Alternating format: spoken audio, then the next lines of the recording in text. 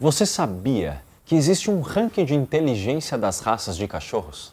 Quer conhecer a raça campeã desse ranking? Sua origem é a Grã-Bretanha e a raça é resultado de mais de um século de criação para cães pastores e boiadeiros. Devido à sua inteligência, hoje em dia ele tem sido muito usado em comerciais e TV. Sabe de quem estamos falando? O Border Collie. E hoje vamos conversar com a especialista em criação dessa raça, é a Juliana do canil Hers der Welt. Juliana, como é que é a personalidade do Border Collie? O Border Collie é o cão com uma personalidade incrível. Uhum. Ele não escolhe somente um dono na família.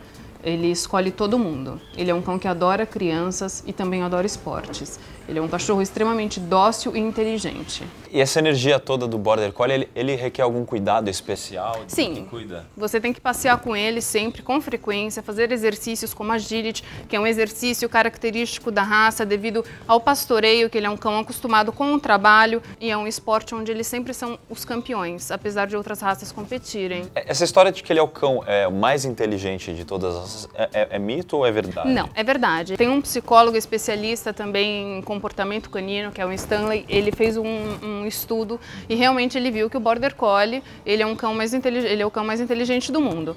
Mas ele não é só o cachorro mais inteligente do mundo, ele é o segundo animal mais inteligente do mundo, perdendo para o golfinho. Ele está junto com o macaco, em segundo lugar no nível de inteligência. Legal.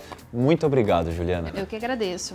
O Border Collie é um cachorro impressionante tanto pela sua inteligência excepcional, como pelo seu carisma e beleza. Se você gostou, manda esse vídeo para os seus amigos também conhecerem a raça. Gostou? Então inscreva-se no nosso canal e veja sempre nossas dicas de raça, saúde, cuidados, como escolher produtos e muito mais.